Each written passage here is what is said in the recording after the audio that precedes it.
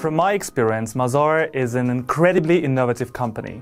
Its entrepreneurial spirit makes everything possible. In comparison to the uh, other firms I've worked with, which were bigger on, in scale, I've found that at Mazars the spirit is different. It's more entrepreneurial. Sometimes it's chaotic because things are still being worked on. At the same time as this is challenging, it gives you a wealth of opportunity. It means you can really invent and find your role within this huge scope of global opportunity, and that can be really exciting.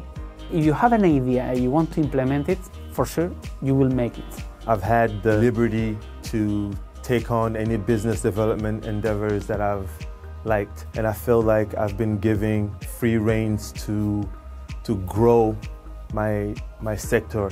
Definitely uh, has an uh, entrepreneurial feel to it. So. If we have a new idea, if we want to implement new things, new algorithms, new models, we always have, have time uh, with the team to, to do so. At Mazars, we have an entrepreneurship program where all employees can put some ideas and by chance I've been selected by the jury.